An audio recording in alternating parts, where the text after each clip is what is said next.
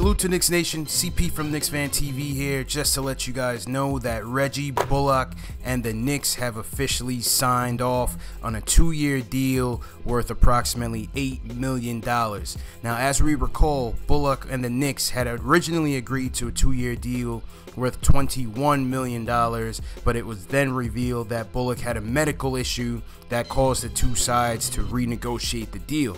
Now, apparently, Bullock is dealing with a plantar fasciitis issue that hampered him for most of last year. But now the two sides have reworked the deal, and Bullock's agent David Bauman has gone on the record as saying that the Knicks were fantastic through the process. So take that for what you will, but it's always good to hear the Knicks receiving some positivity rather than the negative publicity that surrounded them during the free agency period. Now, what's also interesting to note about the contract is that he signed for less than the $4.7 million room exception that the Knicks still had available to them.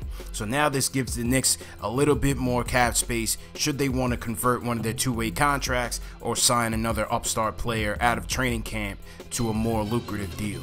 And one thing to also remember is that by reworking Bullock's deal, the Knicks were able to sign Marcus Morris and his contract became official today as well.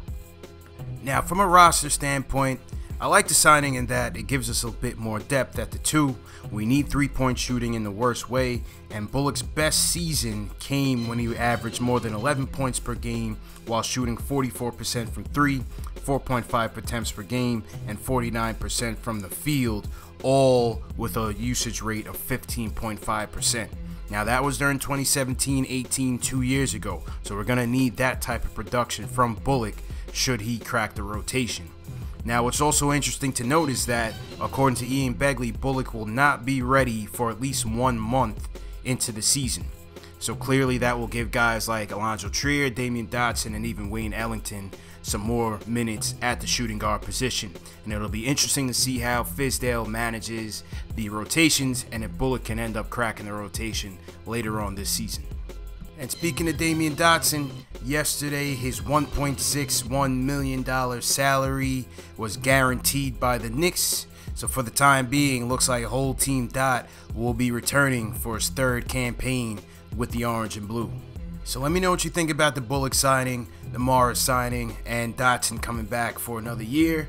How do you see David Fizdale managing this rotation of depth?